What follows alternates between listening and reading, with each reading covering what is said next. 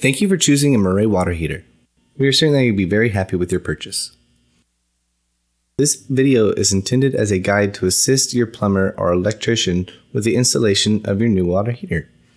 First, you should identify an appropriate place to mount your water heater. It should be mounted vertically, directly to the wall, with the water and power connections at the bottom of the unit. Hang your water heater securely to the wall using the instructions supplied with the unit.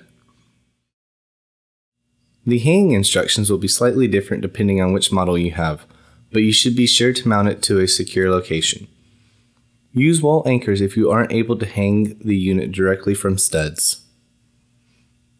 Be sure that the unit is mounted securely to the wall. Do not supply power to your water heater until all the plumbing is complete.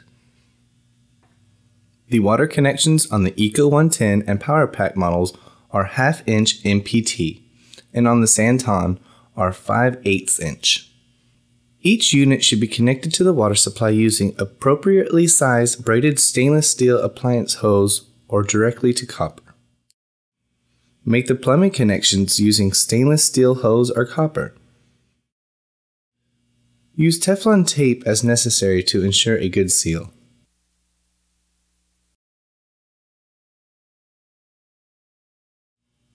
We recommend that you install a valve at the unit supply so that you can turn off the water supply to the unit if needed without shutting off the supply to the rest of the home.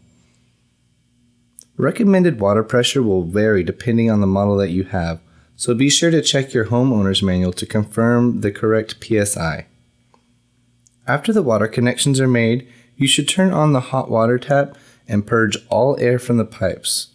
Do not supply power to your water heater until all the plumbing is complete. Turn on the heater to flush out the lines and purge all air from the system.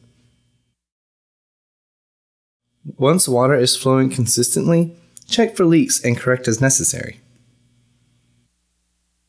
If water pressure exceeds the recommended maximum, a pressure relief valve must be installed.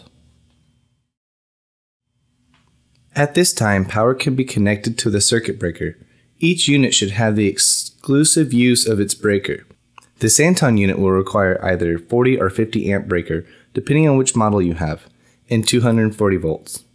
The Power Pak is either 110 volt or 240 volt, depending on the model purchased, and can be operated between 10 amps and 40 amps.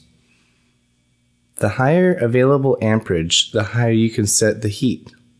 The Eco 110 is a 240 volt unit and requires the exclusive use of a 50 amp breaker.